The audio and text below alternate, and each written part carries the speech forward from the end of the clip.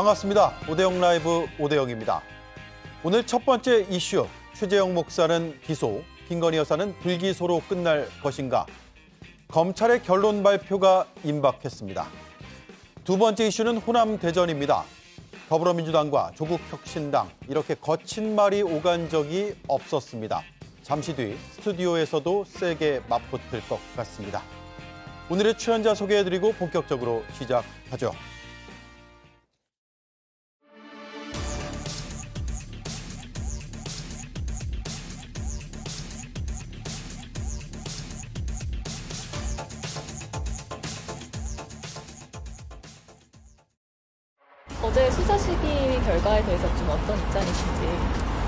검찰은 수사심의위원회 그 결과를 존중하여 잘 적용하고 그대로 적용하고 잘 이행해 줬으면 좋겠다. 나를 처벌해달라 주장했던 최재형 목사. 새로운 영상과 증거를 준비했다더니 그게 통한 걸까요? 기소 8명에 불기소 7명으로 이른바 최재형 수심위는 명품백을 건넨 행위에 죄가 있다며 기소해야 한다고 판단했습니다. 하나의 사건에 두 개의 의견 참 묘하게 됐습니다. 검찰이 혹시 불기소 처분을 하면 어떻게 하실 생각이실까요? 저를요? 예, 불기소 처분하지 않겠죠. 네, 최 목사 말대로 최 목사는 기소될 거란 전망이 우세한데요. 다만 가방을 준 사람만 처벌하고 받은 사람은 처벌 안 하는 것 아니냐라는 예측도 함께 나옵니다. 과연 이 사건의 향방은 어떻게 될까 궁금해집니다. 네, 수사심의위의 결과를 한번 정리해 보죠. 혐의별로 보면 일단 스토킹 혐의는 불기소 권고를 했습니다. 명예훼손, 위계에 의한 공무집행 방해, 주거침입이 모두 불기소 권고가 됐고 압도적으로 불기소 의견이 많거나 아니면 만장일치였습니다. 그런데 청탁금지법에서는 의견이 약간 갈리긴 했거든요. 기소를 권고를 했는데 기소가 8, 불기소가 7로 어, 일단 직무 관련성 인정 취지의 의견이 더 많았습니다. 성춘 의원님, 김 여사의 수사심의 결론과는 사뭇 다른 것 같아요. 예, 일단 그때 수심이 구성원들이 달라진 것도 있고요. 어, 그리고 일단 이번 사건이 좀 특이하지 않습니까? 왜냐하면 검찰이 무죄를 주장하고 피의자가 유죄를 주장하는 상황입니다. 예. 보통 반대거든요. 그렇죠. 그런 상황인데 김건희 여사와 관련된 1차 수심이 때는 사실 불기소를 얘기하는 사람들과 무죄를 주장하는 사람들만 들어가서 수심위원들에게 얘기를 했습니다. 근데 이번에는 반대로 유죄다.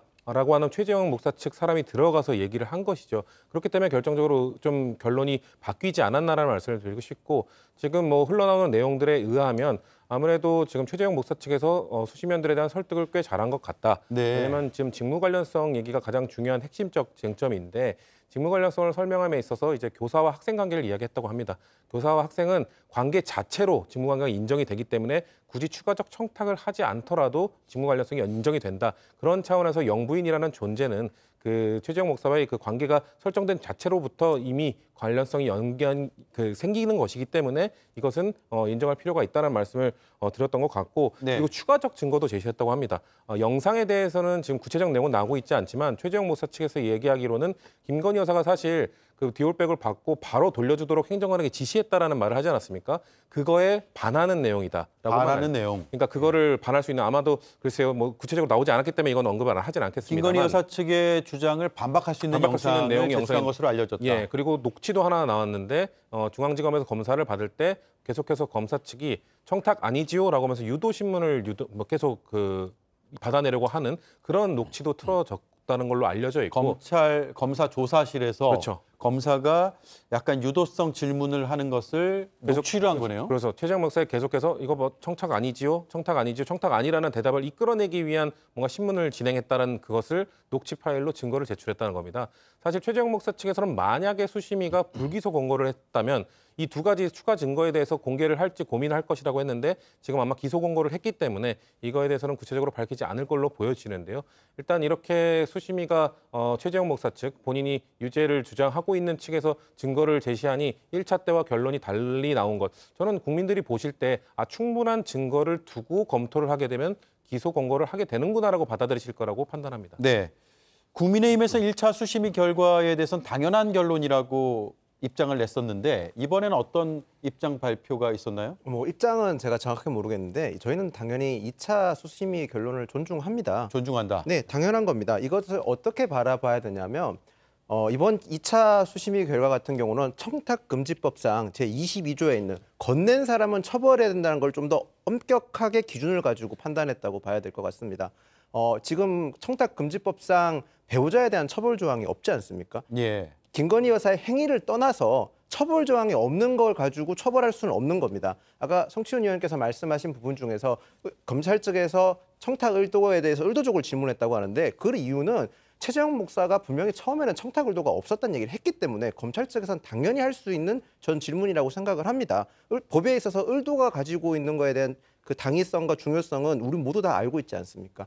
어, 물론 이 행위 자체가 검찰 2차 수심위 결과가 그리고 저는 또 하나 의문 들은 게 민주당에서 1차 수심위 결과가 나왔을 때 수심위의 결과를 두고 짜여진 각본이다, 검찰 독재다, 뭐 여당의 압력이 자- 여러 가지 말들이 많았지 않습니까? 근데 이번에는 그런 말 없이 2차 수심위를 무- 그냥 무심코 받아들이는 걸 보면서 1차 수심위 결과에 대해서 상반된 결과에 나온 거에서 어떻게 생각하는지 좀 저도 의아하게 생각하고 예. 앞으로 검찰 측에서 이 상반된 수심위 결과를 가지고 어떤 판단을 하는지 지켜봐야 될 것 같습니다. 예.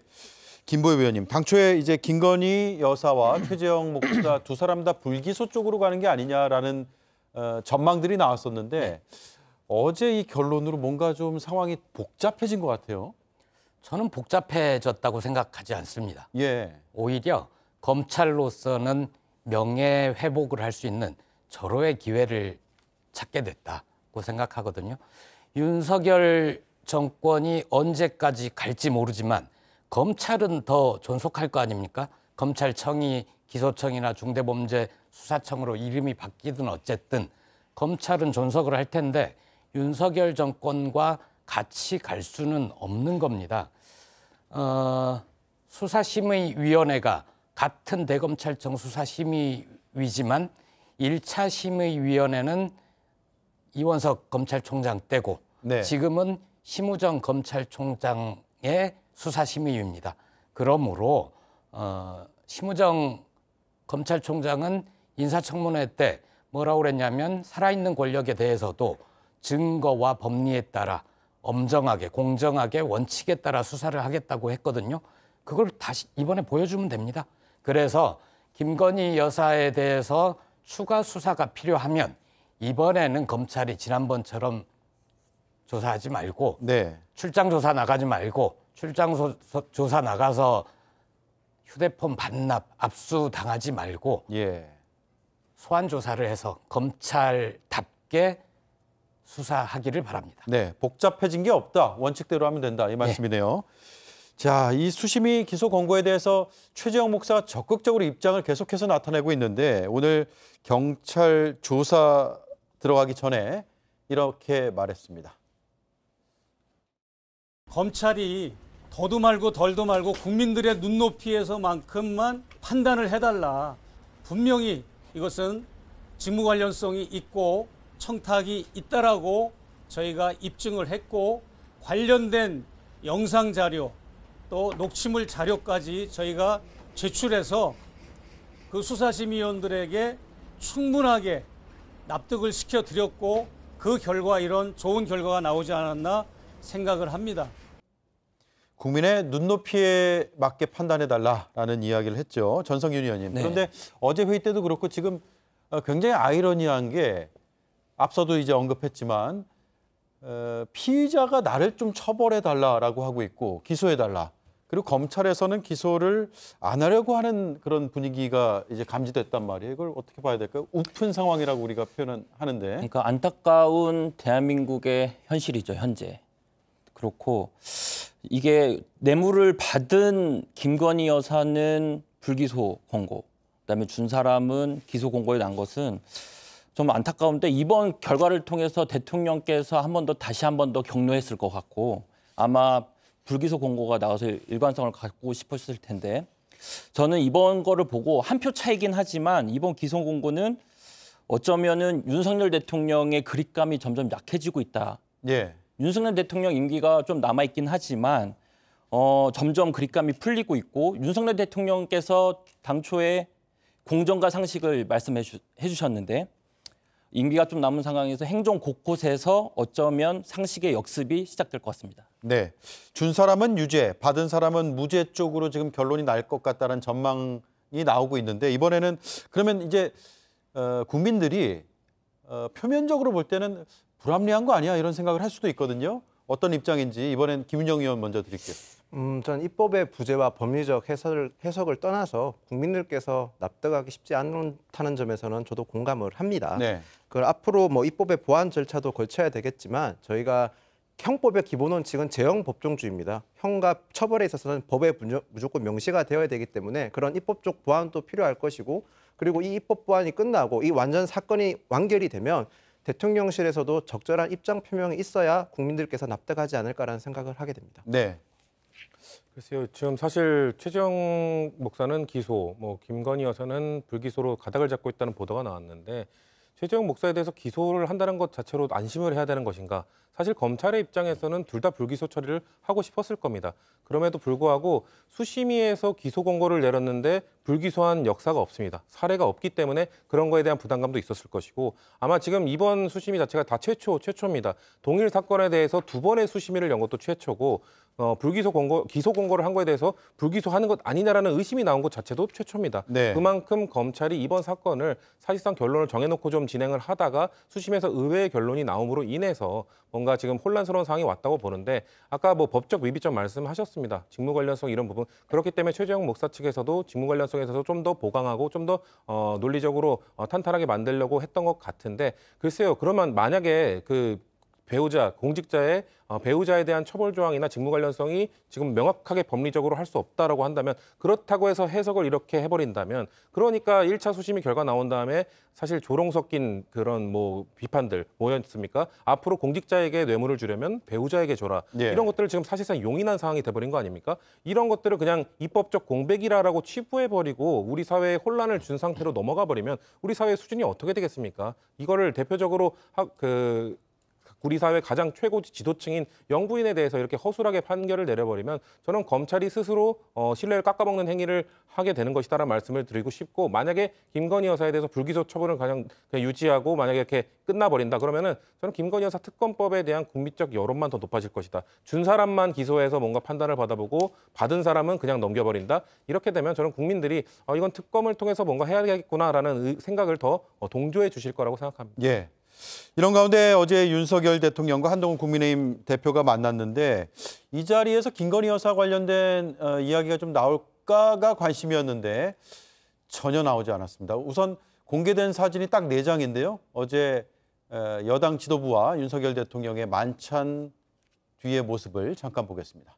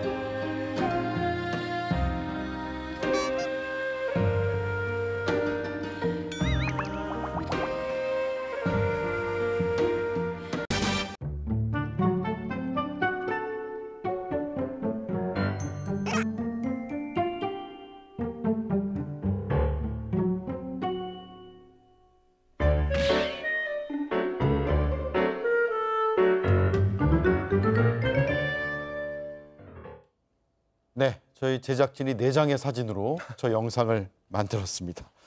석진 의원님, 예. 민주당에선 빈손 만찬이다 굉장히 박하게 평가했는데 이유를 들어볼까요? 뭐 아무런 나온 결론이 없기 때문이죠. 뭐 지금 대통령실이 뭐 윤식당도 아니고 가서 식사만 하고 나오려면 대체 왜 모이는 건지 모르겠다는 말씀을 드리고 싶고 대체 대통령실은 무슨 누구를 위해 일하는 곳인가? 저희가 저번에 그, 윤- 그 김건희 여사의 마포대교 순찰건을 다룰 때 그때 그때는 대통령실에서 18장의 사진을 올렸는데 네. 대한민국의 대통령과 대한민국 집권 여당 대표를 비롯한 지도부가 만났는데 사진은 당네 장만 올라갔습니다. 보통 그 이전에 만찬이 있었을 때는 영상도 좀 올라가고 어, 그 영상을 통해서 초반에 분위기도 좀 국민들에게 전달을 해줍니다. 왜냐하면 국민들은 이 대한민국의 그 대통령과 집권여당 대표가 어떻게 만나서 어떻게 대화를 시작하는지를 듣고 싶어 하거든요. 근데 지금 JTBC에서 아주 뭐 좋게 좋은 음악을 잔잔한 음악을 깔아주셔서 분위기가 좋아 보였겠지만 지금 들리는 바에 하면 그렇게 분위기가 좋지 않았다고 알려지고 있고 지금 상황 인식이 참 한가한 것 같아요. 저렇게 지금 대통령실과 집권여당 지도부가 만나서 밥 먹을 때인가? 지금 사실 도시락 시켜놓고 어,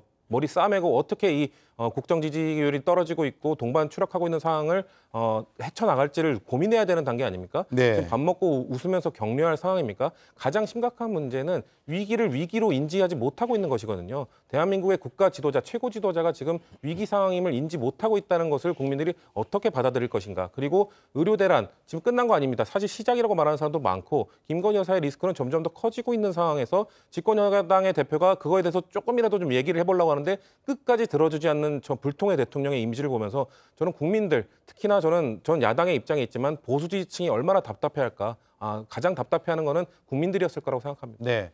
자, 분위기가 별로 안 좋았다고 하던데 실제로 어떤 얘기가 들리나요? 뭐 참석하신 분들마다 의견이 조금 갈리고는 있는 상황입니다. 뭐 저는 사실 예상했던 결과였습니다. 참석 대상자가 27명이라고 드러난 순간 이 회담의 성격은 규정이 되었다고 생각을 합니다.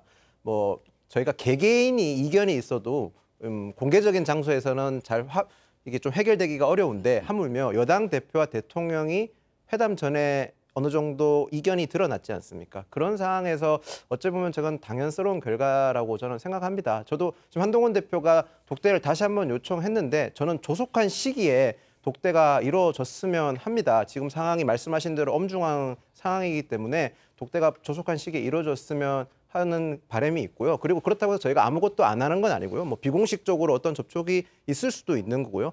또한 당정 협의체가 매주 저희가 진행되고 있기 때문에 당정 공개적으로는 당정 협의체를 통해서 대통령실과의 간접적인 소통 또는 직접적인 소통도 이루어질 수 있다는 점을 말씀드리겠습니다. 예. 어제 만찬 참석자들이 오늘 아침부터 라디오 인터뷰에 쭉 나와서 하는 얘기들 들어보면 내용들이 좀 달라요. 그래서 장동혁 최고위원, 김종혁 최고위원, 이른바 친한계에서 하는 얘기부터 먼저 들어보고 또 반대되는 반응도 들어보겠습니다. 제가 받은 느낌은 그래도 그런 만찬 자리였으면 당연히 이제 당 대표로서는 적어도 이제 인사말 정도 예. 이제 공식적으로 예. 뭐 아니면 뭐 어제 뭐 술은 전혀 없었지만 예, 예. 뭐 그렇지 않더라도 뭐 건배사나 인사 말씀할 수 있는 정도의 기회가 있을 거라고 생각을 하고 예. 또 뭐 그런 말씀 정도는 준비하지 않으셨을까 아하. 뭐 그런데 이제 그런 기회도 없었기 때문에 끝나고 나서라도 예. 한 대표는 혹시라도 대통령이 봅시다 해서 예. 얘기를 할 거라고 좀 기대를 했던 것 같아요. 아무런 얘기도 못 했는데 사실은 밥만 먹고 왔다는 얘기 비판 얼마 전에도 들을 수 있잖아요. 네. 자, 그러니까 어, 발언할 기회도 안 줬다라는 것이고요. 반면에 이 자리에 함께 참석했던 김재원 최고위원은 기회가 있었는데 한동훈 대표가 말을 안 했다는 거거든요. 들어보겠습니다. 오히려 한동훈 대표께서도 바로 대통령을 마주보고 이야기하면서 이야기를 꺼낼 수 있는 기회는 충분히 있었는데 애당초부터 그렇다고 뭐 말도 못하게 막는 분위기였다고 저는 생각하지 않고 한동훈 대표 스스로는 어, 이 자리에서는 뭐 이야기하지 않겠다는 생각을 어, 한거 아닌가. 근데 김용 의원님, 오늘 네. 한동훈 대표의 반응이 상당히 궁금해서 여러 기자들이 계속해서 이제 취재를 했거든요. 이런 입장을 나타냈어요. 만찬의 성과가 뭐냐고 물었더니 저녁 먹은 것이다.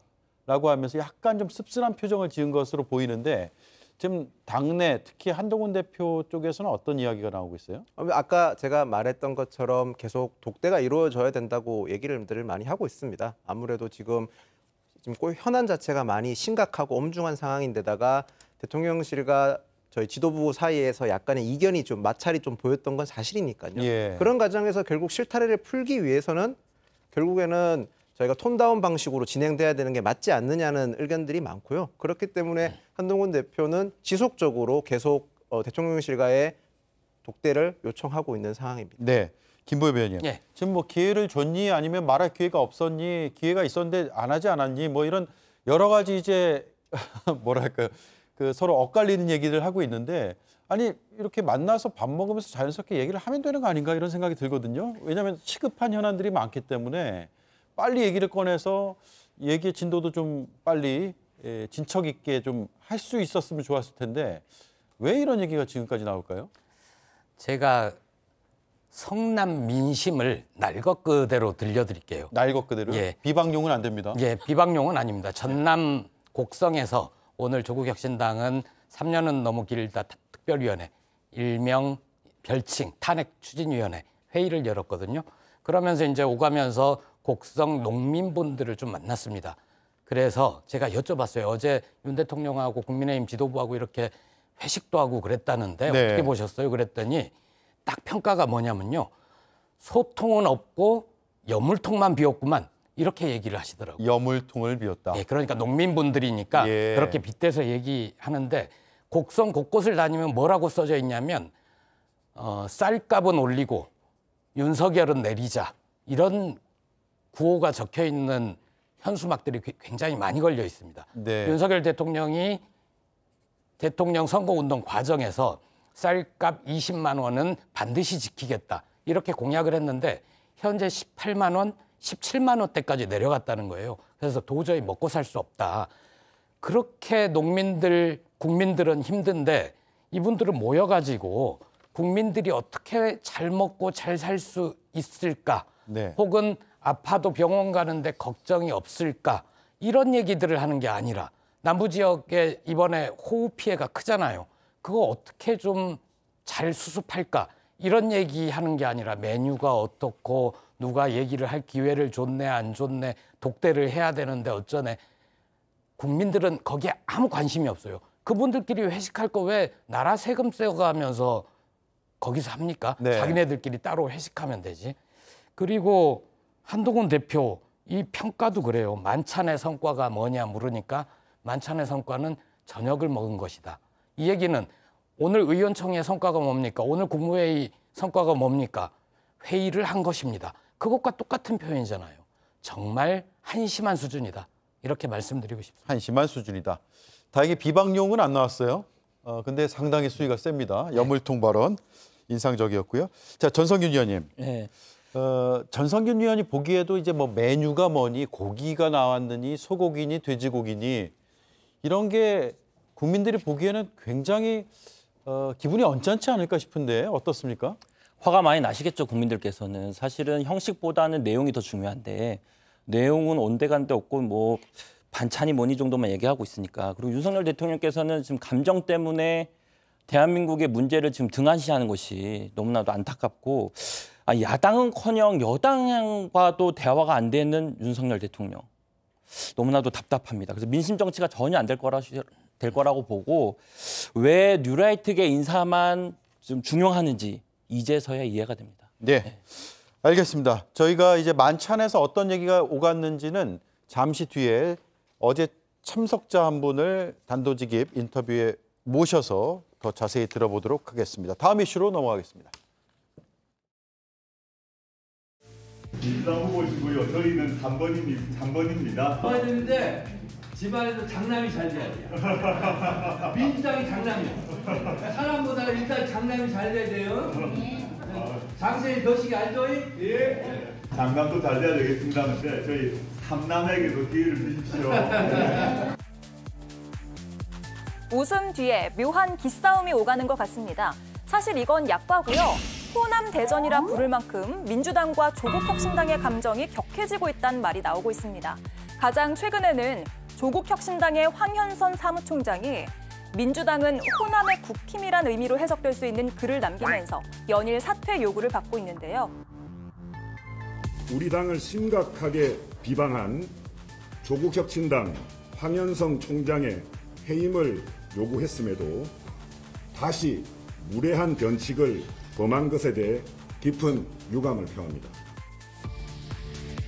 고인물이다, 상한물이다 이런 설전이 오간 가운데 이렇게 격해진 이유가 호남 대전이 대선을 향한 전초전이기 때문이란 해석까지 나오고 있습니다. 네, 10월 재보궐 선거가 이제 한 3주 정도 남았는데 영광 곡성에서는 거의 당 대표끼리의 대리전이 치러지는 양상입니다. 먼저 준비한 영상부터 보겠습니다.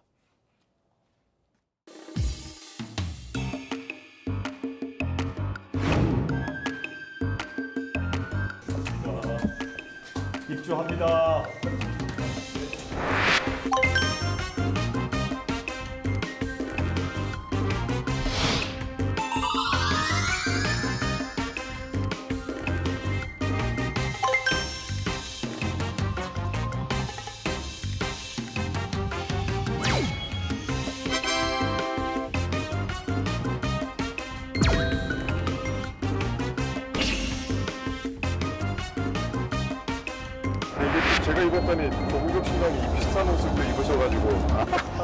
신당이 다 민주당 때가 또 원래 지 원래 지민 비주하기로 했는데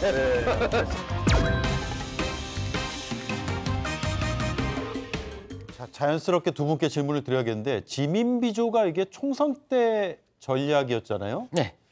총선 이후에도 계속 유효한 전략인가요? 제가 먼저 말씀드리는 거죠.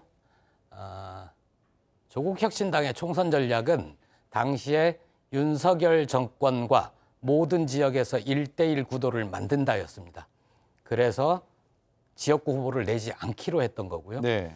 그랬더니 야권 지지자들, 민주당도 좋아하고 조국 혁신당도 좋아하는 야권 지지자들이 그럼 지민 비존에 지역구는 민주당 찍고 비례는 조국 혁신당 투표하면 되겠네. 이렇게 야권 지지자들 사이에서 만들어진 말입니다. 조국 혁신당이 이번 총선의 전략은 지민 비조입니다. 이렇게 얘기를 한 적이 아, 없어요. 유권자들이 만들어낸 그렇습니다. 말이다. 그래서 그 말을 우리 당 사람들이 썼다고 하더라도 그걸 인용해서 쓴 적은 있지만 조국 혁신당이 지민 비조를 표방을 하고 그걸 총선 전략으로 한 적은 없다. 이 말씀 먼저 드리고 윤석열 정권과 일대일 구도를 만든다는 전략은 여전히 유효합니다. 그렇기 때문에 국민의힘이 당선될 가능성이 없는 호남 지역에서는 경쟁을 하고 민주당과 경쟁을 하고 부산 금정구청장 선거는 후보 단일화를 하고 저희가 후보를 내지 않는 인천 강화 군수 선거는 민주당 승리를 위해 힘닿는 대로 돕겠다. 이게 조국 혁신당의 이번 선거에 임하는 전략입니다. 네. 지민비조 했는데라고 이재명 대표가 말씀하시는데 그런 오해가 좀 있는 거고요. 그럼 앞으로 조국 혁신당이 지민비조를 계속 하라는 거는 지역구에는 후보를 내지 말고 비례정당을 하라는 거냐. 저희는 반문은 할 수밖에 없잖아요. 조국 혁신당은 풀뿌리 정당, 수권 정당을 표방을 하고 있습니다. 따라서 당연히 앞으로 지역구 선거에도 후보를 적극적으로 낼 텐데 호남뿐만 아니라 민주당이 세가 약한 대구 경북 지역에 이번에 선거가 나왔다면 저희는 거기도 후보를 냈을 겁니다. 네. 윤석열 정권과 일대일 구도를 만든다는 전략 저희는 버린 적이 없습니다. 네. 어, 민주당 앞서 이제 정청래 의원의 발언 내용을 보면 호남에서 어, 장남은 민주당인데 장남이 잘 돼야 된다. 이게 민주당 내부의 거의 대체적인 정서라고 봐도 돼요? 어, 뭐 맞죠. 근데 근데 사실 지난 총선에서 그 호남 지역에서 어, 비례 투표가 조국 혁신당이 좀 많이 나오긴 했죠. 그래서 아까 어, 대변인께서 지민비조란 단어 자체를 조국 혁신당 뭐 의원님들이나 이런 분들이 처음에 꺼낸 건 아니지만 예. 그 이른바 재미를 좀 많이 보셨죠. 그 전략을 전면에 내세우면서 어, 민주진영 지부 그 지지자들로 하여금 지역구는 민주당을 찍고 어, 비례대표는 조국 혁신당에 좀 표를 달라는 전략이 제대로 잘 먹혔던 것도 사실이고 그렇기 때문에 그때는 그렇게 그런 전략적으로 뭔가 발휘를 하면서 어, 이득을 많이 봤는데 왜 이번 지역구 기초단체장 선거에서는 민주당이 1등 후보나 아니면 좀 호남의 어, 의석도 많이 갖고 있는 정당이라는 이유만으로 뭐 악마화되고 뭐 국민의힘이라는 호남의 국민의힘이라는 소리도 들어가면서 그런 비판을 다 수용해야 되는가 이건 아니라는 거거든요. 사실 지난 총선 때는 1인 2표 아니었습니까? 지역구 한 표, 비역 그 비례대표 한 표. 그렇기 때문에 이 민주진보 진영의 지지자들이 한 표 한 표 나눠주셨지만 이번 재보궐 선거는 한 표입니다. 어, 단체장 선거에 대해서 한 표만 행사할 수 있기 때문에 1등을 달리고 있는 민주당이 어, 저는 유리한 위치에서 어, 유리한 선거를 이끌어 갈 것이라고 보는데 단지 1이라는 이유만으로 단지 의석이 많은 거대 정당이라는 이유만으로 그런 불편한 이야기들, 그런 선을 넘는 발언들까지 다 수용할 수는 없다라는 말씀을 드리는 겁니다. 예. 자, 그동안 서로 주고받았던 말을 한번 모아봤거든요. 한번 보시죠. 8월 26일 조국 대표 호남 민주당 독점 상태 고인물은 썩는다. 9월 22일 김민석 최고위원 고인물 넘어 상하기 시작한 물이다. 그리고 9월 24일 황현선 조국혁신당 사무총장 민주당은 호남의 국민의 힘이다. 그리고 나서 논란 후에 수정을 했죠. 호남의 패권 정당, 기득권 정당이다라고 했고요. 9월 24일 김성애 더불어민주당 대변인이 호남의 국민의힘 발언 모욕적 표현이다. 황현선 해임을 요구한다 라고 주고받았습니다. 저렇게 모아 보니까 더 거치네요. 일단 국민의힘이 갑자기 소환이 됐어요. 국민의힘 입장부터 들어볼까요? 경쟁이 치열한 건전 바람직하다고 생각을 합니다. 그런데 이번 재보궐 선거는 주민들과 가장 밀접한 행정가인 자치단 기초단체장을 뽑는 선거인데 그런 지역 주민들 밀착형 공약보다는 오롯이 국민의힘을 비난하거나 정권은 비난에만 초점이 맞춰져 있는 점에서는 저는 그건 바람직한 경쟁이라고 생각하지 않습니다. 네. 그리고 더 나아가서 지금 양당이 특히 저 여, 조국혁신당과 민주당이 조, 곡성에서 전라도에서 지금 벌이고 있는 경쟁 중에서 어, 기본소득 관련돼서 지금 경쟁을 벌이고 있더라고요. 저는 그 부분에 대해서도 조금 유, 음, 생각을 해봐야 될 부분이 있다고 생각합니다. 현금성 복지 정책에서 가장 중요한 건 재정 마, 재원 마련이 제일 중요한데 그 재정 마련이 좀 불분명합니다. 어, 예산을 절약한다는 당연한 행정과 그리고 더 나아가서는 어, 에- 신재생 에너지를 통한 개발 이익을 통해서 지금 기본소득을 재원 마련을 하겠다는 건데 네. 이 개발 실현 이익을 통해서 현금성 복지 정책을 마련하겠다. 상당히 저는 실현 가능성이 낮다고 보는데 구체성도 좀 떨어진다는 지적도 있죠. 네, 맞습니다. 그런 점에서 조국 혁신당과 민주당이 조금 더 생산성 있고 건정성 있는 경쟁을 하시면 좋을 것 같다는 생각을 하고 저희 당 역시 영광 군수에는 후보를 내지 않았지만 곡성 군수에서도 후보를 냈고 호남 분들에게도 조금 더 다가가기 위해서 더 노력 드리겠다는 말씀을 네. 올리겠습니다. 선거전에서 국민의힘의 이름을 어, 이런 방식으로 쓰지 않았으면 좋겠다라는 어, 말씀도 네, 드리고 네, 싶습니다. 네, 저는. 그런 취지로도 알아들어야 될 것 같은데. 자, 성치훈 의원님. 예. 어, 어쨌든 그런데 이게 뭐 발언이 나왔기 때문에 지금 우리가 얘기할 수밖에 없는데 황현선 사무총장 역시도 민주당 출신이고 어, 그런데 이 발언으로 굉장히 지금 민주당에서는 격앙돼 있고 해임을 하라라는 요구를 지금도 유효하게 하고 있는 거예요? 지금 오늘 그 민주당에서 지금 최대 개파로 알려진 더민주 혁신회의에서 공식 입장을 냈습니다. 더민주 혁신회의에서도 어, 사임을 해야 된다. 사과와 지금 뭐 심심한 뭐 유감을 표명한다 이 정도만 말씀하셨거든요. 네. 이 정도가 아니라 제대로 된 사과와 해임을 하라 라는 얘기를 지금 조민주 혁신에서 주장을 하고 있고, 근데 다만 저는 어, 당내에서는 이렇게 좀 강한 목소리를 내시는 분들 여러, 여전히 존재하고요. 그렇기 때문에 어, 중간 지점을 찾든 아니면 정말 어, 다시 한번 사과를 하시든 이런 거에 대한 해법을 찾아가기 위한 목소리도 민주당 내에서 있어야 된다고 생각합니다. 왜냐하면 서로 이렇게 싸우기만 하게 되면은 분명히 협조해야 되는 지역도 있는데 지금 기초단체장 선거가 그 호남 지역 두 군데만 치러지는 것이 아니기 때문에 어, 여기선 이렇게 선을 넘는 싸움을 계속하게 되면 다른 곳에서 협, 협조를 할 때 지지층의 결집도 잘 안 이루어질 수 있고 국민들이 보시기에도 불편하실 수 있기 때문에 저는 내부에서 좀 정청래 의원 아까 좀 음, 가시도침 말린 것 같지만 그래도 저 정도의 좀 기싸움, 저 정도의 서로를 그래도 좀 배려하면서 어, 좀 재미있게 보일 수 있는 그 정도의 싸움을 이끌어가는 분들도 좀 더 나와야 되지 않겠느냐. 너무 어, 사퇴하라, 해임하라 이런 분들 목소리 말고도 좀 중간 지점에서 어, 조국혁신당 측에서도 좀 그런 분이 나오고 민주당 측에서도 그런 분이 나와서 해법을 찾아가는 그런 모습을 좀 보여드릴 단계가 오지 않았나라는 말씀드립니다. 네. 황현선 사무총장이 심심한 유감이라는 입장을 냈는데 이거 사과인가요? 아닌가요? 사과죠. 아, 유감이 사과입니까? 유감 표명하는 사과인데 어, 방금 성치훈 성치훈 위원님의 말씀에 저는 전적으로 공감합니다. 그래서 그게 사과가 아니다. 제대로 사과를 다시 하라 하면 다시 할 수 있어요. 그런데 사퇴 요구는 좀 과하다 라고 생각을 하고요. 앞서 말씀하신 것 중에 지민비조 전략으로 조국 혁신당이 재미를 봤다라는 표현을 쓰셨는데 지민비조 전략으로 민주당과 조국 혁신당이 양쪽이 다 이득을 본 겁니다. 일방적으로 조국 혁신당만 재미를 본 거 아니고요. 네. 민주당에서도 사실 상당히 예, 이득을 봤죠. 당시에 민주당에 실망해서 투표장에 가지 않으렸던 분 중에 조국 혁신당 투표하러 갔다가 그래 미워도 민주당 이렇게 하신 분들도 꽤 되거든요. 그런 점도 고려해 주셨으면 좋겠고 자, 그 황현선 사무총장과 제가 오늘 오전에도 회의를 하면서 아 좀 말씀 좀 과하게 하셨네요. 너무 거칠어요. 했더니 왜 그런 표현을 쓰셨냐고 했거든요. 그랬더니 황현선 사무총장이 원래 쓰려던 표현은 어, 민주당은 호남에서 국힘과 국민의힘과 마찬가지의 집권 여당 아니냐 기득권 정당 아니냐 이런 표현을 쓰고 싶었는데 네. 줄이다 줄이다 보니 그렇게 국힘이란 표현을 썼다. 고 잘못했다라고 생각을 하더라고요. 그래서 심심한 유감을 표하고 수정을 했는데 이게 모자라다 하면 저는 거듭 사과를 하라고 얘기를 할 수는 있습니다. 그런데 이게 본인은 어떤 생각이에요?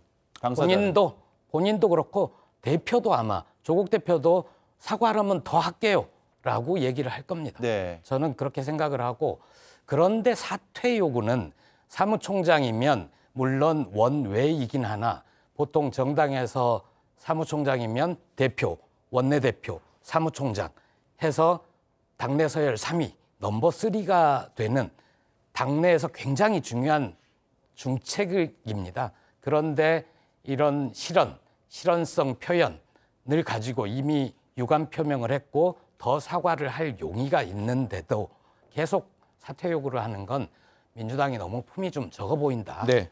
앞으로 계속 사이좋게 지내야 되고 이번 10월 선거 끝나고 안 볼 사이 아니지 않습니까? 계속 윤석열 정권에 맞서 싸우는데 굳게 손잡고 갈 사이인데 이 정도 선에서 그치자 적당히 하자 이런 말씀 드리고 싶습니다. 예, 조국 대표가 오늘 비슷한 얘기를 했는데 일단 들어보고 얘기를 이어가죠. 조국 혁 신당의 등장으로 선거가 한층 활기를 띠고 있습니다. 다시 한번 공정한 경쟁, 아름다운 경쟁을 하겠다고 말씀드립니다. 비판은 하되 할퀴지 말고 비틀지 맙시다. 윤석열 정권 좋아할 일 절대 하지 맙시다. 조국 혁신당과 민주당은 선거 후에 윤석열 정권과 싸워야 하는 한 길을 걷는 동지입니다. 개혁신당 시각에서는 어때요? 이 총선 때 그리고 총선 이후에 이제 전략적인 어떤 뭐 동맹이라고 표현해야 될까요? 그런 관계를 이어왔는데 어, 야권에서 균형이 균열이 발생할 수도 있을까요? 전혀 없을 겁니다. 전혀 없다. 네, 왜냐하면 아직 윤석열 대통령 정권의 심판론이 유효한 상태에서 선거를 이겨야 되기 때문에 연대할 것이고요. 앞으로 예상되는 바는 호남에서는 공정한 경쟁, 아름다운 경쟁 뭐 말씀해 주셨는데 어, 부산 금정구에서는 조국 대표와 이재명 대표가 손잡고 만세하는 사진 조만간 보실 거고 전 그렇게 예상을 합니다. 아까 지민 비조로 두 당이 재미를 보셨다고 했는데 제가 한 가지 말씀드리고 싶은 것은 어, 재미를 봤다면 국민께서 이제 정책으로 재미를 보실 때입니다. 예. 자, 그런가 하면 재보궐 선거가 열리는 또 하나의 지역이 있습니다. 바로 부산의 금정구인데요. 금정구청장 선거가 있습니다. 이재명 대표가 부산에서 최고위원 회의를 진행을 했는데 일단 들어보겠습니다. 이번 금종구청장 선거는 이런 정권에 대해서 두 번째 심판을 하는 선거입니다. 나라가 정말로 위험해질 수 있습니다. 지금도 이미 위험합니다만 더 심각한 상황에 빠질 겁니다. 우리 부산 시민 여러분 그리고 금정 구민 여러분 기회를 주십시오. 어, 여기서 이제 민주당과 조국 혁신당의 단일화 가능성이 얘기가 되고 있고 네. 어, 조금 전에 전성기 의원은 만세하면서 함께 사진을 찍는 걸 조만간 볼 수 있다라는 얘기까지 했는데 그런데 오늘 협상이 좀 결렬되는 분위기 아니었어요, 성춘 의원님? 그러니까 아직까지는 그 황현성 사무총장에 대해서 사과나 이런 좀 저, 뭐 거치 문제까지 가지 않더라도 뭔가 좀 추가적인 발언이나 이런 게 있어야 되는 것 아니냐는 목소리가 강한 것 같아요. 그러니까 아까 대변인님께서 감사하게도 어, 사과를 더하라면 더할 수도 있다라고 말씀하셨는데 그런 분위기가 좀 조성이 되면 민주당 내에서도 아, 저 정도까지 제스처를 취하고 메시지를 보내고 있다면 우리도 이 정도에서 타협을 할 수 있는 안을 만들어 보자라는 목소리가 나올 것인데 아직 그 단계까지는 안 갔기 때문에 네. 지금 협상은 결렬될 것이고 아직 시간이 며칠 더 남아 있습니다. 어, 이거는 금정원 총장은 저는 단일화는 무조건 100% 이루어질 거라고 생각을 합니다. 왜냐하면 이번 기초단체장 선거 4개 모두 야권이 지금 가져올 수 있는 기회입니다. 왜냐하면 금정구청장 선거 무- 물론 부산이라는 곳이 그 보수의 텃세가 강한 곳이지만 조국 혁신단도 어느 정도 어, 기반을 갖고 있는 곳이고 그렇기 때문에 단일화를 통해서 지금 그 윤석열 대통령에 대한 어, 반대의 목소리가 큰 상황에서 충분히 이 의외의 결과를 만들어낼 수 있고 인천 강화군수도 마찬가지입니다. 거기서는 조국 혁신당이 후보를 내지 않은 상황에서 지금 국민의힘 인천시장 출신인 안상수 전 시장이 무소속 출마를 강행하고 있기 때문에 여기서도 의외의 결과를 낸다면은 어, 기초단체장 선거 4개 불과한 재보궐 선거지만 어, 윤석열 정부의 이런 그 잘못된 국정 운영에 대한 어, 확실한 경고 등을 킬 수 있는 그런 선거로서 작용하기 위해서 어, 그 금정 그 금정구청장 선거를 어, 같이 단일화하는 거에 어, 전혀 어, 어려움은 없을 것이라는 점 말씀을 드립니다. 네, 알겠습니다. 자, 시간 때문에 짧게 짧게 말씀을 좀 부탁드릴게요. 김보엽 위원님. 단일화 가능성 100%다라고 했는데 같은 생각이세요? 예, 100%입니다. 부산 금청 금정구청장 선거는 마치 어, 작년에 재작년인가요? 작년 서울 강서구청장 선거랑 비슷합니다. 서울 강서구청장에서 야권이 승리를 하면서 4.10 총선에 압도적인 야권의 승리가 이루어졌거든요. 부산에서 금정구청장 야권 승리한다면 윤석열 정권의 임기는 더욱더 줄어들 겁니다. 자, 김윤영 의원님. 그런데 부산 금정구는 국민의힘 강세 지역 아니에요, 원래? 전통적으로? 근데 지금 국민의힘에게 유리한 지역이 있다고 생각하지는 않습니다. 저희는 뭐 야권의 분열과 상관없이 저희가 군청 국민들에게 선택받을 수 있게 스스로 준비를 박차를 가하고 있습니다. 어, 부산의 연제구의 김희정 의원을 선대위원장으로 임명함을 비롯해서 지금 차근차근 하나씩 금천 구민들에게 인정받기 위해서 부산 지역에 있는 현역 의원들까지 다 동원해서 저희가 금천 구민들을 위한 공약과 또 더 다가갈 수 있도록 노력을 하고 있는 상황이라는 점을 말씀드리겠습니다. 네, 야권 단일화와는 무관하게 다가가겠다, 유권자에게. 자, 그런데 개혁신당은 왜 11, 11.6이죠? 재보궐 선거 때 후보를 내지 않았습니까?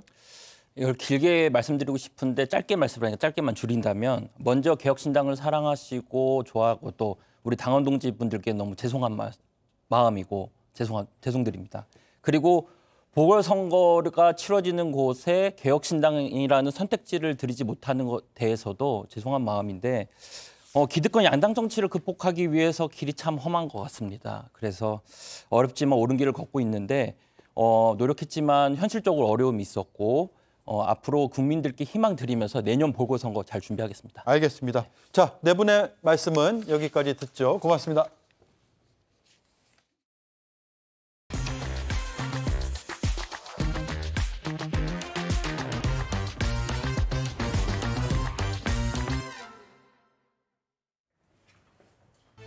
원래대로라면 최상병의 저녁일은 내일입니다. 어머니도 편지를 남겼는데요.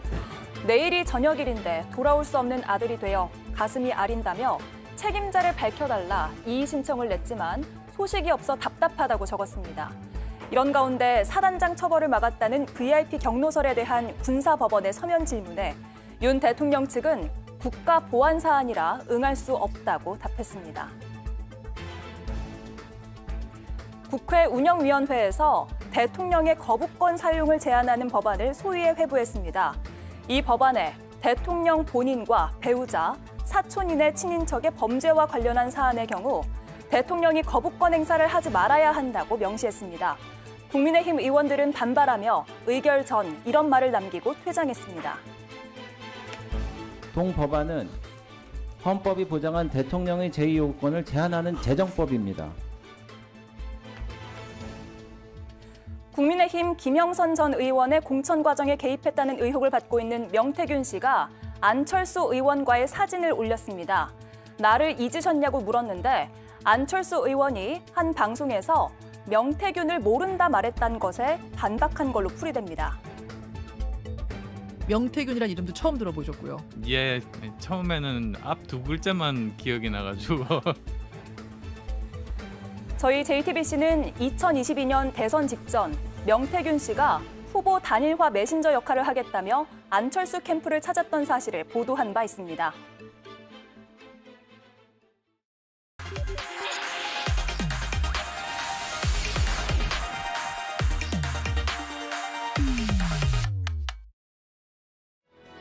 만찬의 성과요? 만찬의 성과는 저녁을 먹은 것. 네. 제가 제가 이게 소통의 과정이라고 길게 봐주시면 어떨까 싶어요. 네, 오대영 라이브의 간판 코너 단도직입을 시작하겠습니다. 어제 대통령과 만찬을 함께한 김종혁 국민의힘 최고위원이 스튜디오에 나와 있습니다. 어서 오십시오. 안녕하세요. 예, 어, 화기애애했다 이게 대통령실의 설명인데 김종혁 최고위원 오늘 인터뷰 내용을 쭉 들어보면 그게 중요한 게 아니다. 분위기가 아니라 사실 이제 대화 내용이 본질인데 그런 본질을 따졌을 때는 중요한 얘기가 전혀 오가지 않았다는 취지의 인터뷰 발언을 하시더라고요. 아예 중요한 언급이 없었다고 봐도 됩니까? 이게 이제 거기 모인 분들은 다그 공적인 무대에서 일하는 사람들이잖아요. 대통령도 그렇고 대통령의 수석들도 마찬가지고 저희 또 이제 국민의힘 당 대표나 그 최고위원들 그리고 당직자 모두 다 공공선을 위해서 일하는 사람들이에요. 예. 또 그러 거기서 이제 국민들의 세금으로 월급을 받고 있는 거고요. 그러니까 어쨌든 그그 모임에서는 어, 가장 중요한 것이 공적인 대화여야 된다고 생각을 해요. 물론 이제 우리가 모두 공적인 삶만 삶만을 살 수는 없죠. 이렇게 때로는 모여서 상견례처럼 이렇게 인사하는 그런 자연스러운 과정도 필요하긴 한데 상견례라고 하기에는 저희는 이미 두 달이 됐어요. 예. 출범한 지 두 달이 됐기 때문에 처음에 상견례라고 할 수도 없는 거고 그렇다면 그, 그 모임의 그, 저, 의미는 거기가 뭐 화기애애했느냐, 화기애매했느냐, 뭐 썰렁했느냐 이런 게 중요한 건 아닌 것 같아요. 에, 공적인 일들을 하는 분들은 그 자기들끼리 아무리 화기애애해도 거기서 중요한 그 국민들이 원하는 그런 얘기들을 나누지 않으면 예. 무슨 의미가 있겠습니까? 그리고 굉장히 썰렁했다 하더라도 거기서 만약에 그 굉장히 생산적인 토론이 이루어졌다면 그건 또 평가돼야 되는 거 아니겠어요? 그런 의미에서 어제 모임은 그냥 우리 한동훈 대표도 그냥 밥 먹은 거죠. 이렇게 얘기를 했지만 어, 그런 면에서는 좀 많이 미흡했다, 네. 아쉬웠다 이렇게 말씀을 드릴 수 있을 것 같네요. 예. 공공을 위해서 일하는 어, 정치인들이 그러면 어제 무엇을 논의했어야 된다고 생각하세요? 김건희 여사 문제 혹은 뭐 의료 대란 여러 가지가 있잖아요. 저희 당의 입장에서는 가장 중요한 건 당연히 이제 의료 대란 문제를 어떻게 에, 해소를 할 것이냐. 뭐 지금 현재 대란이 벌어지고 있는 것은 아니에요. 하지만 추석 때 뭐 대란이 예상됐다가 그것이 이제 국민들이 무려 40%나 되는 분들이 응급실 가는 것들을 과거에보다 이렇게 줄였고 네. 그럼으로써 넘기긴 했어요. 근데 이게 또 겨울이 다가오고 그러면 어, 여러 가지로 또 제2의 위기가 올 수도 있다. 이것이 반복될 수도 있다. 이런 두려움이 있지 않습니까? 그러니까 어떻게 해서든지 의사분들, 또 떠나간 의사들을 다시 현장으로 불러들이려는 그런 노력들이 필요한 것이고 그런 면에서 이제 협상이 있어야 되는 거고요. 그래서 여야 의정이 함께 모여서 어, 타결책을 좀 찾아보자 예. 이런 얘기들이 오가고 있는 거잖아요. 그래서 저희로서는 근데 그 결정을 내릴 수 있는 게 누구냐? 어, 제 개인적인 생각입니다만 지금 현재 뭐 복지부 장관이나 차관이나 이런 분들이 할 수는 없을 것 같아요. 지금 총리도 못 하고 있는 거 아니에요? 뭐 그런 것 같아요. 어, 단편적으로는 이제 복지부 장관이나 차관은 의사들의 입장에서는 그 사람들하고는 우린 대화의 자리에 앉고 싶지 않다. 이렇게 비토를 놓고 그 거부감을 표시하고 있는 거고 어, 결정적으로는 그럼 대통령이 결정을 내리셔야 되기 때문에 어, 한 대표 입장에서는 이런 부분들에 대해서 대통령과 좀 허- 어, 얘기를 나누고 싶고 의사단체들을 계속 만났잖아요. 다양한 예. 의사단체들. 근데 이 의사단체들이 뭐 의견이 통일되어 있는 건 아니에요. 서로 이, 다양한 의견들이 있으니까 공개하지 못한 이런 얘기들을 대통령과 어, 얘기하면서 대책을 마련하고 싶었을 것이고 또 지금 이제 김건희 여사와 관련해서 뭐 여러 가지 논란들이 있지 않습니까? 아, 명품백과 관련된 그런 논란이 법적으로는 뭐 불기소로 그 검찰에 의해서 그리고 수사심의위원회에 의해서 불기소로 종결이 됐지만 예. 그러나 법률적 문제가 종결이 됐다고 해서 뭐 정치적인 정무적인 그런 책임 자체가 사라지는 건 아니기 때문에 그렇죠. 아마 그런 부분도 어, 대표로서는 어, 말씀하고 싶었을 거예요. 그런 부분들이 이제 다 되지 못했던 거죠. 네. 이 만찬 장소가 야외였잖아요. 물론 요즘 날씨도 좋고 바깥에 정치도 좋고 하지만 야외는 어찌 됐든 이렇게 실내에서 마주 앉아 있으면 주변 정돈도 되고 해서 대화하기가 좋은데 야외는 아예 대화가 좀 어선하고 잘 안 되는 분위기여서 애초에 장소를 선정한 것 자체부터 대화의 의지가 없다는 걸 보여준 게 아니냐 이런 생각도 들더라고요. 글쎄 뭐 그렇게 오해할 수도 있는데요. 지금 화면도 나오고 이- 있긴 합니다만 저기가 이제 어린이 정원인데 그 저녁이니까 이제 그 거기는 이제 문을 닫고 거기 모여서 한 거예요.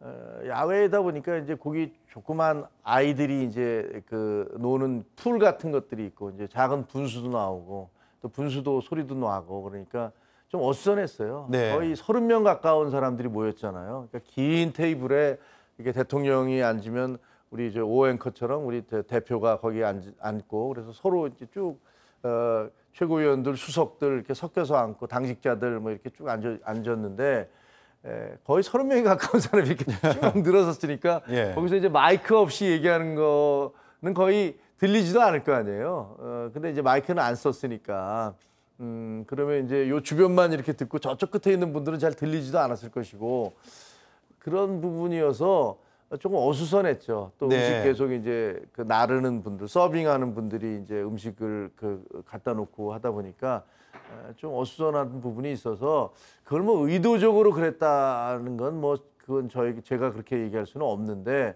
어쨌든 대화하기가 별로 이렇게 좋은 장소는 아니었다. 네. 그런 게 있고 또 하나는 이게 대개 이제 우리가 초청을 받은 거잖아요. 그러니까 이제 대통령께서 대개는 이제 모두 발언을 하고 모두 발언을 한 다음에 아, 자 이제 뭐 대표도 한, 말, 한 말씀 하시죠. 음, 그다음에 이제 뭐 최고위원들도 한 말씀 돌아가면서 하시죠.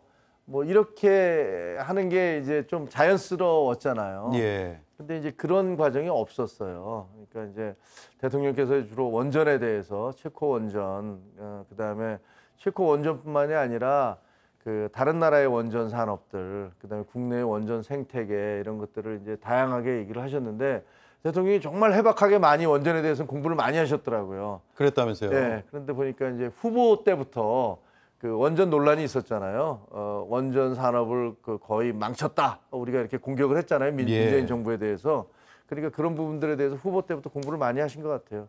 그래서 뭐 여러 가지 새로운 사실들도 얘기를 해주시긴 했지만 그러나 정작 이제 국민들이 그 알고 싶어 했던 것들은 의정 갈등을 어떻게 해소할 것이냐. 그래서 국민들의 불안감을 어떻게 잠재워 주실 수 있는 것이냐. 이런 부분들에 대한 이야기나 뭐 혹은 또 김건희 여사에 대한 어떤 그런 다양한 논란들은 과연 당정은 어떻게 이 부분들을 바라보고 있느냐. 그리고 또 뭐 배추가 2만 2천 원이라는 둥, 뭐 시금치가 만 원이라는 둥, 실제로 현실이 그렇잖아요. 예. 이런 물가 문제라든가 뭐 여러 가지 저희들이 논의할 문제가 많았던 거죠. 근데 그런 부분들에 대해서 얘기가 없었기 때문에 그 대통령 그 국민들로서는 좀 실망스러워 하실 수도 있었겠다라는 생각이 들죠. 예, 저는 근데 그 대목에서 이런 생각이 들더라고요. 어, 대통령이 발언을 쭉 하더라도 뭐 전혀 쉬지 않고 발언은 할 수가 없으니까 중간에 그런데 말입니다로 끊고 들어가서 이야기할 수 있는 분위기는 전혀 안 됐습니까? 그거는 뭐 누구든지 그렇게 지적하실 수 있을 것 같아요. 근데 사실 제가 알기에 대표는 그 한동훈 대표는 어제 어, 독대는 못한다 이렇게 용산에서 대통령실에서 얘기를 했지만 그래도 대통령이 아마 좀 잠깐이라도 얘기하자 이렇게 나오지 않을까 이걸 기대하셨던 것 같아요. 그러면 어, 만찬 끝나고 나서라도 잠깐이라도 볼 수 있을 수도 있겠다라는 생각을 그렇죠. 그러니까 한 대표가. 어, 그 어제 일찍 왔어요.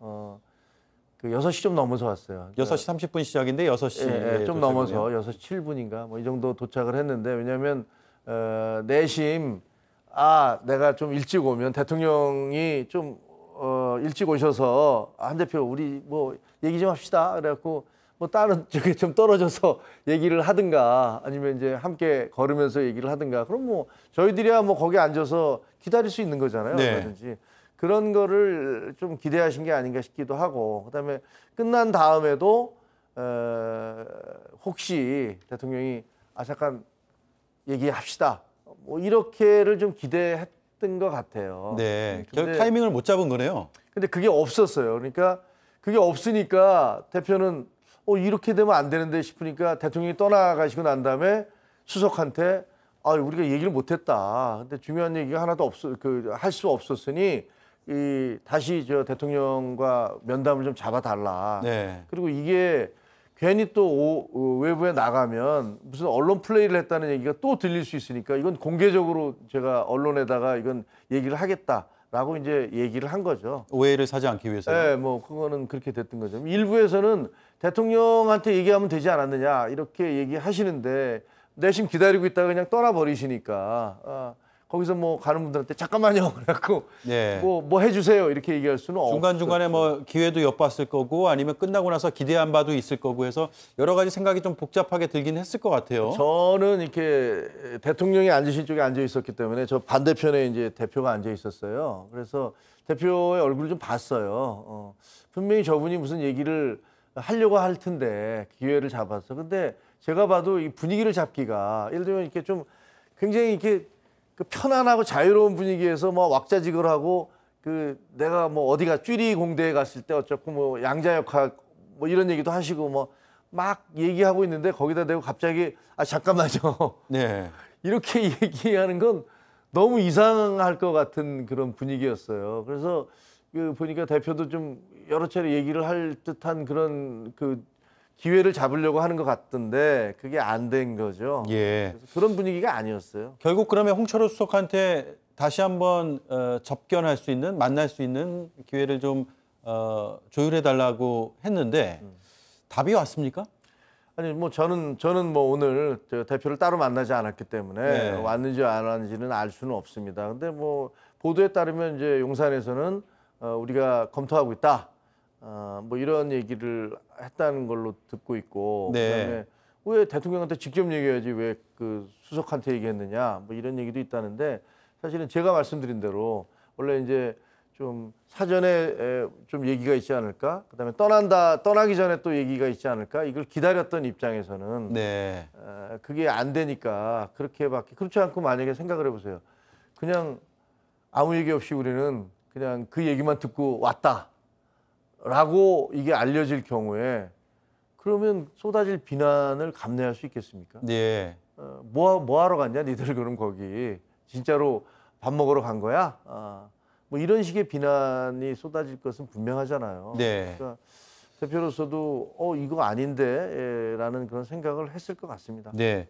그런 비판이 사실 나오고 있어요. 그게 이제 대통령실을 향해서도 있고 당을 향해서도 어느 정도 있을 텐데 어, 국민들이 봤을 때는 그게 대통령실과 당을 구분하지 않고 여권에서 왜 이렇게 대화를 못하는 것인가라는 생각이 들 수 있고 그래서 뭐 메뉴로 뭘 먹었네 아니면 독대네 아니네 이게 중요한 게 아니라 전혀 의미 없는 거죠. 예. 앞서 이제 처음 말씀하신 그 부분. 그러니까 정말 궁금하고 어, 빨리 해결됐으면 좋겠다고 생각드는 그 주제에 대해서 왜 대화를 하지 못했냐는 그 비판은 어, 지금 겸허히 받아들여야 된다고 생각하세요? 당도? 뭐 그렇습니다. 이제 뭐 아까 말씀드린 대로 저희가 이제 독대를 요청을 했던 것이나 그다음에 이 자리에서 또 이제 안 돼서 다시 좀 배야겠다라고 얘기를 하는 것들 모두가 예. 이런 중요한 이슈에 대해서 이 그 어떻게 보면 이제 대통령과 1호 당원인 대통령과 당 대표가 만나서 이 부분을 좀 논의를 하는 게 좋겠다라는 취지에서 계속 요청을 드리고 있는 거긴 하지만 근데 이제 지금 계속 안 되고 있잖아요. 예. 그러니까 그 부분에 대해서는 뭐 그 국민들이 하시는 말씀이 100% 맞다고 생각해요. 도대체 왜 그거 왜 못 만나는 거냐? 뭐 내지는 이 부분을 그냥 어, 덮어놓고 그냥 밥만 먹고 오는 게 말이 되느냐 이런 비판을 할 수 있다라고 생각을 해요. 네. 제가 보니까 이제 옆에서 관 제가 관전하면서 이렇게 느낀 거는 그 이 사안 사안에 대한 판단이 좀 다른 것 같아요. 예를 들면 어, 의대 저 증원 문제에 관해서도 사실 저희는 이게 굉장히 좀 심각하다라고 생각을 하고 있거든요. 당에서는 네. 지난번에 총선에서도 이 문제가 해결되지 않아서 어, 상당히 타격을 받고 그리고 내년으로 가면 이게 더 힘들어질 것이다, 더 어려워질 것이다 이렇게 생각을 해요. 어, 저희는 선 당이라는 건 선거하는 조직이잖아요. 그렇죠. 선거 조직이기 때문에 민심이라든가 표의 향방에 대해서 예민하게 반응할 수밖에 없어요. 네. 그게 좀 네. 다르다, 지금. 완전히 좀 다른 것 같아요. 네. 저희가 보기에는 그 아 이게 개혁 맞아. 그 분명히 의료 개혁이 필요해. 그건 다 인정을 하죠. 근데 이렇게 막 밀어붙였는데 밀어붙이는 거에 대해서 네. 가사 아, 의사들이 어 뭐 어쩔 수 없네 하면서 다시 돌아왔다고 쳐보세요. 그분들이 몸이 온 거지 마음이 온 게 아니잖아요. 속으로는 국민의힘 윤석열 대통령 가만 안 두겠어. 그러니까요. 이런 마음을 가지고 올 거 아닙니까? 네. 자, 물- 시간이 없어서 네. 정리를 하셔야 됩니다. 네. 어, 그래서 겸허하게 받아들이시겠다. 네, 그렇습니다. 네. 알겠습니다. 시간이 많았으면 좀 더 질문거리가 많았는데 네. 아쉽습니다만 어, 감사드리고요. 네. 조만간 다시 한번 또 모시겠습니다. 네, 알겠습니다. 예, 고맙습니다. 네, 감사합니다. 네, 지금까지 김종혁 국민의힘 최고위원이었습니다. 로게인 폼. 이것이 지금까지의 탈모 관리. 로게인 폼의 탈모 관리는 모낭 표적 케어. 특허받은 폼 타입으로 탈모를 치료합니다. 두피 케어를 넘어 모낭 표적 케어로 로게인 폼. 얼음 정수기의 기준을 높이다. 아이스트리 플리. stone texture 디자인으로 공간을 빛내고 RO membrane 정수로 깨끗함을 더하니까. 얼음 정수기는 역시 청호나이스 아이스트리 플리. 힘이 되겠습니다. 당신만 바라봅니다. 듣기 좋지? 근데 저런 말들이 살아가는데 도움이 되니? 금융은 실전이야. SBI 저축은행. 진대는 과학. 모두가 아는 숙명 공식. 침대는 과학이다. 에이스 침대. 네, 인터뷰가 길어져서 앵커 한마디는 오늘 진행하지 않겠습니다. 오대용 라이브 마치겠습니다. 내일도 5시 30분에 찾아뵙겠습니다. 고맙습니다.